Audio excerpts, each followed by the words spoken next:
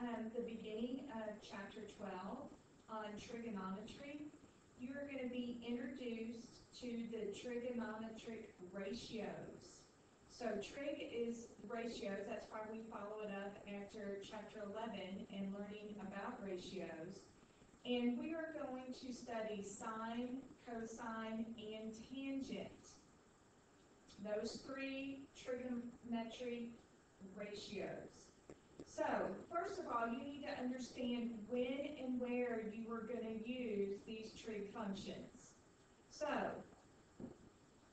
the first thing that I want you to remember is that you're gonna use these with right triangles.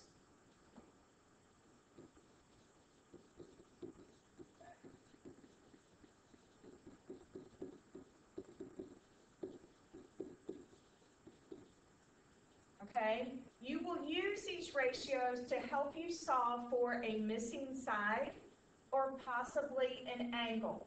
So right now, up to this point, you have used um, Pythagorean theorem to solve for missing links on right triangles.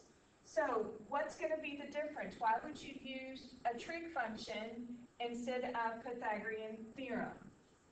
So Pythagorean theorem, which you've used quite a bit this year, to solve for missing sides of a right triangle. It will be used when two of the three sides are given.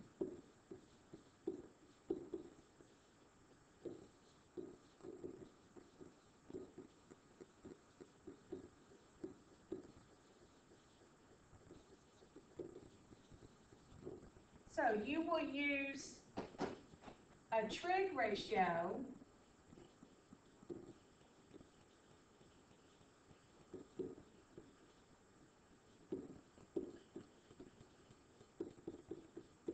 So you're going to use trig when one angle, one of the acute angles is given.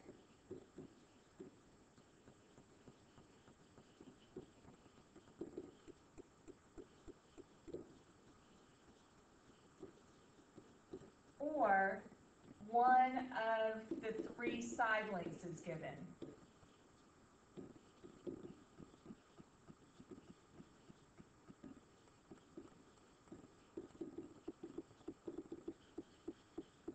Okay, so first thing you want to do is look at your right triangle that you're given to start with and see what information is given. Do I have two out of the three sides? Then I should use Pythagorean theorem. Do I just have one side? Then I'm going to use trig. And then once you decide that you're going to use trig, you need to pick which of these three trig functions that you're going to use. They are called sine, cosine, and tangent. You will abbreviate them S-I-N, C-O-S, and T-A-N. So the sine of angle A is what this means, equals the ratio of the opposite side over the hypotenuse. So you want to find angle A. Here's angle A, Sine is the opposite of whichever angle you're referring to. Opposite the angle over the hypotenuse. So in this case, that's length A over C. If we say sine of angle B, then here's angle B here. The side opposite is B, and the hypotenuse is C. C is the length that stays consistent. Its hypotenuse is always going to be hypotenuse depending on if you're looking at angle A or angle B, does it depend on which side is opposite and which side is adjacent. So the sine of angle B will be B over C. Okay? Cosine's relationship is adjacent over hypotenuse. So cosine of angle A is this length B over C because adjacent to angle A is that side B. So if we do cosine of angle B, we're looking up here at this angle, adjacent is A, and the hypotenuse is C. Then tangent of angle A, tangent is the relationship of opposite over adjacent. So the opposite of angle A is the length A, and the adjacent is B. If we look at angle B, opposite angle B is the length B, adjacent is A. Now, how are you going to remember that? You maybe have seen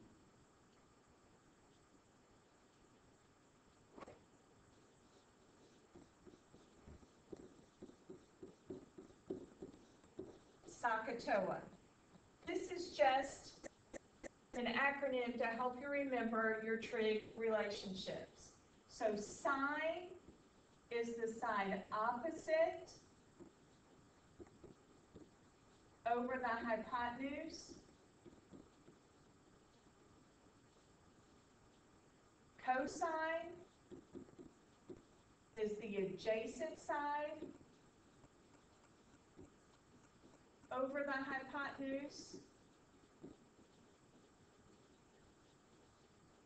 Tangent is the side opposite over adjacent. You do need to memorize these because you will be using your trig functions in every math class that you take from here on out. So, SOHCAHTOA will help you remember which trig relationship that you're looking for. Okay. So, in addition to setting up these ratios, you're just going to be solving different problems. Okay? So, on your calculator, if you could pull up your graphing calculator,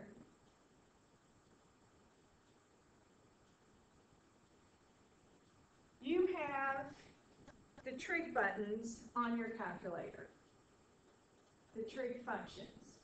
Now, the first thing that you want to do is make sure that you are in degree mode.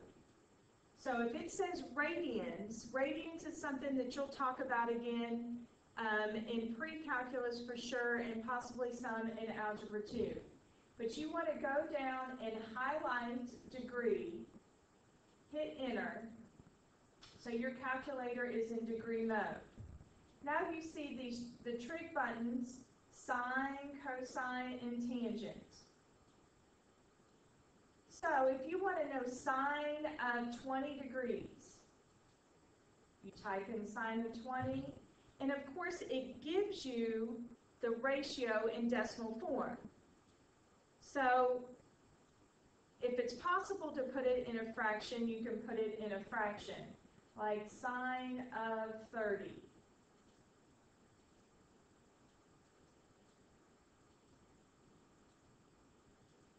You can math bracket, of course, you know that that's one half. So the sine of 30 degrees of opposite over hypotenuse, the side opposite would be 1 and the hypotenuse would be 2. But you can type any trig degree in and get the ratio.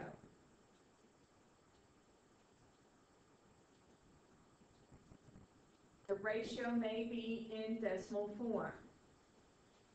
Okay, so be familiar with those buttons on your calculator. Another thing that I want to talk about,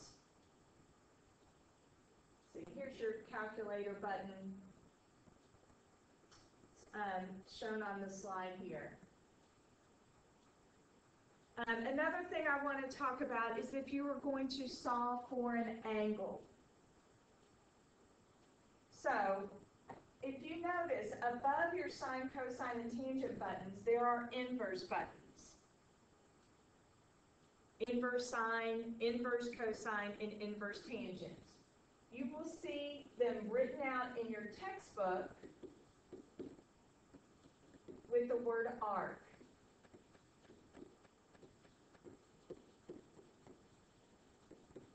Okay? On your calculator,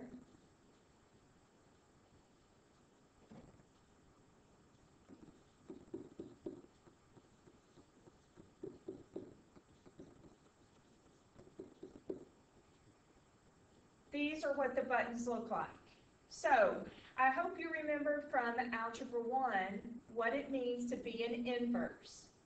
The inverse function of any function, not just your trig functions, means you flip-flop where your x and y coordinates are.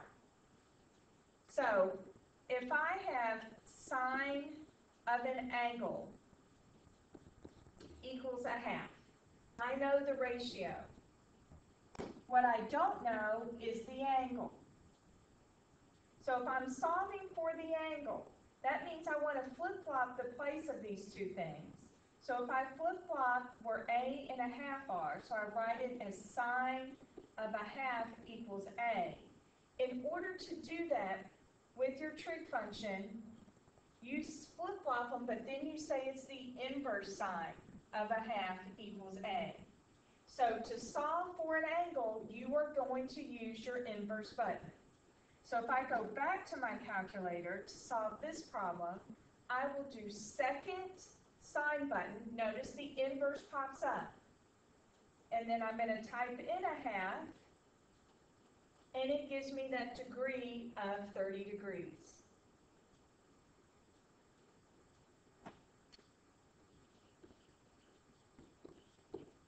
Those are the two things that you need to look at when you set up your problem.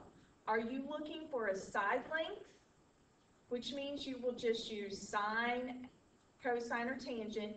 If you are looking for an angle, a degree of an angle, you will use inverse sine, cosine, or tangent. So please remember that.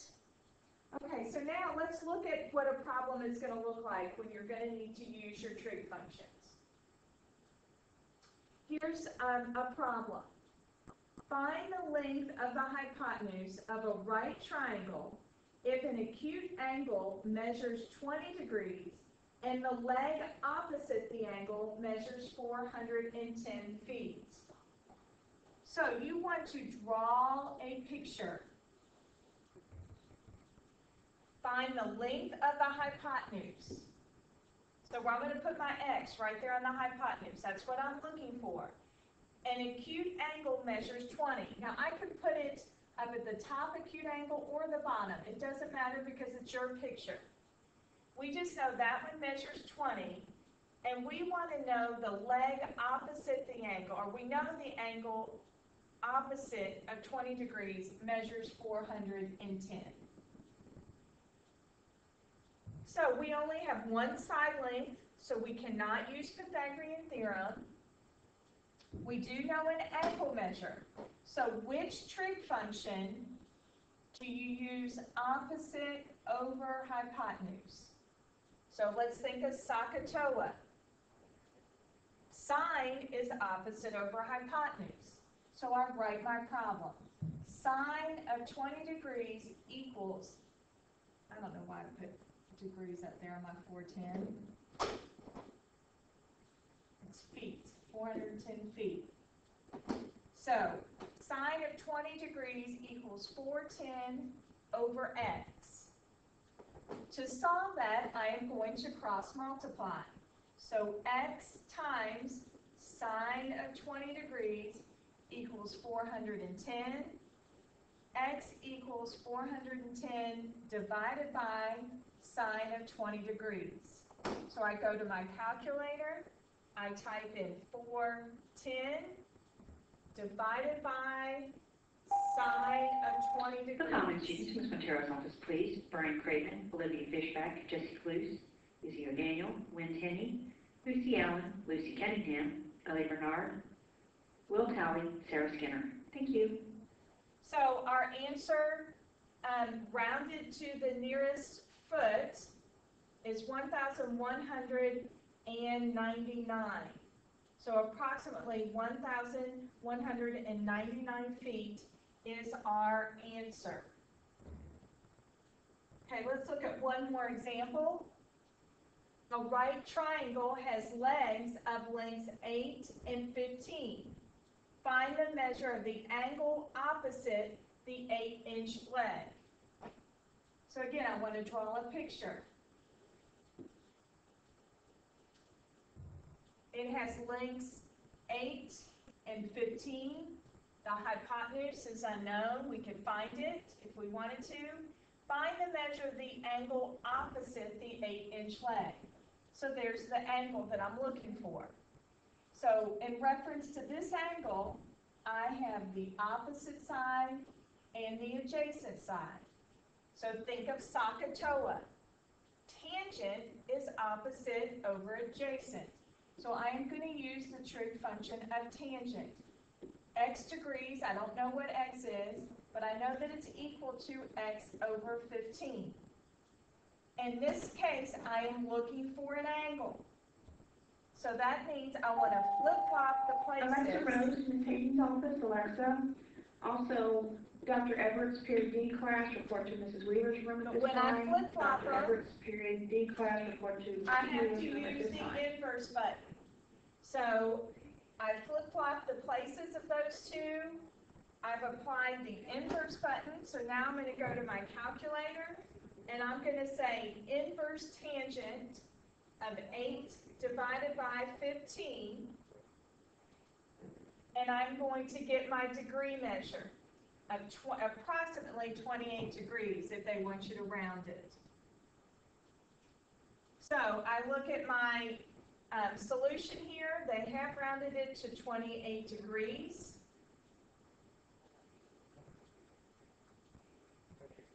And that is what you were going to use for your trig Olivia function. Fishback and Win Tenny to Ms. Quintero's office, please.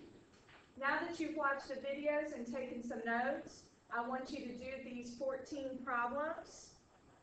And this is, will be checked in class tomorrow. We'll see you then.